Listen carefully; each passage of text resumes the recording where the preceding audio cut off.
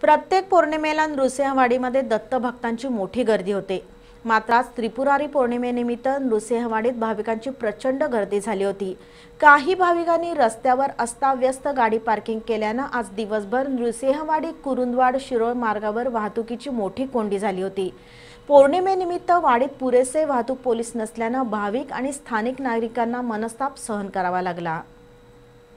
लाखो भाविकांचं श्रद्धास्थान असलेल्या श्री क्षेत्र नृसिंहवाडीमधील दत्त मंदिरात प्रत्येक पौर्णिमेला गर्दी होते. आज त्रिपुरारी पौर्णिमा असल्यानं भाविकांची मोठी गर्दी झाली होती. पण अरुंद रस्ते आणि पार्किंगसाठी अपुरी जागा. यामुळे नृसिंहवाडीतील वाहतुकीचे तीन तेरा वाजले. बहुमजली पार्किंगचं काम सुरू असल्यानं सध्या जी पार्किंगची जागा आहे ती सुद्धा पुरत नाही. काहींनी पार्किंगचे पैसे द्यावे लागू नयेत यासाठी जिथं जागा मिळेल तिथं गाड्या उभ्या केल्या. अगदी नृसिंहवाडीतील स्वागत कमानीजवळ सुद्धा भर रस्त्यावर चारचाकी गाड्या लावल्यानं सारी वाहतूक खोळंबली.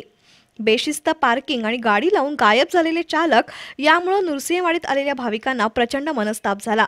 तर वाहतुकीची कोंडी झाल्यानं स्थानिक नागरिकही वैतागले होते. पार्किंगचं नियोजन करण्यासाठी पोलीसच नसल्यानं ग्रामपंचायत कर्मचाऱ्यांना रस्त्यावर उतरून काम करावं लागलं. एकूणच नृसिंहवाडीतील बहुमजली पार्किंगचं काम लवकरात लवकर पूर्ण होणं आवश्यक आहे.